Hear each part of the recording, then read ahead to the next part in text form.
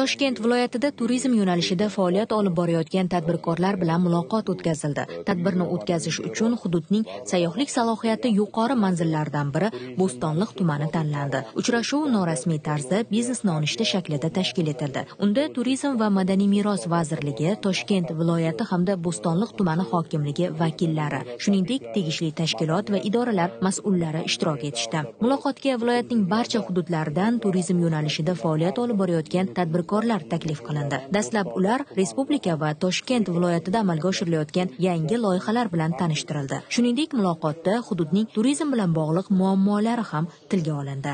Mavsumda e, birgina bo'stonliq tumanini o'ziga yigirma minggacha turist tashrif buyuradi. Vaholanki joylashtirish vositalari e, o'n uch mingta o'rinni tashkil etadi. Shu sababli noqulayliklar mashinalarda tirbandliklar va Э, narxlarni keskin oshishiga olib kelmoqda. Shu sababli davlat rahbari tomonidan topshiriq berildi.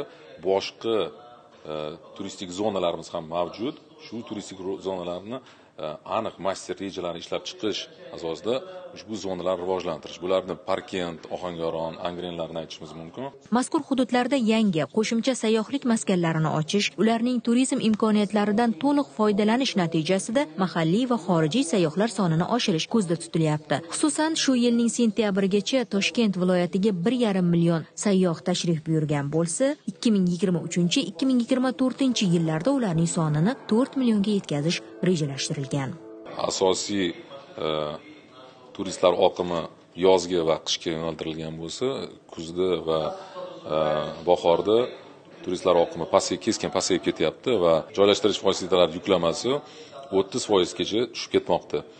Bu bo'yicha ham e, o'zimizga aniq rejalar qo'ydik. Demak ushbu mayz turizm deymiz rivojlantirish mavsumi yo'q paytda demak festivallar o'tkazish tadbirlar o'tkazish va mana mm, vazirlar mahkamasini to'rt yuz sakson to'rtinchi qarori bilan e, demak keshbek tizimi joriy etildi e, sentyabr oyidan boshlab.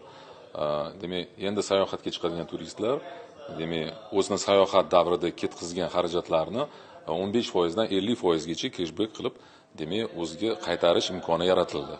Bunaqa uchrashuvlar manimcha juda yam kerak. Negaki bu yerda hozir bir seminar emas bir e, do'stona munosabatga o'xshab ochiq muloqot kimni fikri bor kimni takliflari bor bemalol eshitilyapti vaqti kam ko'p deyilmayapti. Rahbarlarni hammasi bor.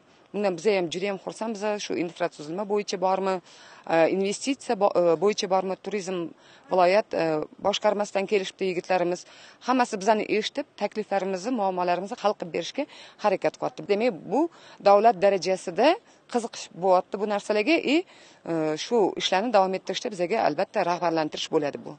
Muloqotda tadbirkorlarning bank krediti soliq to'lovlari elektr energiyasi kadastr kabi masalalarga oid muammo va takliflari eshitildi. Muddat talab etiladigan murojaatlar tegishli tartibda nazoratga olinadigan bo'ldi.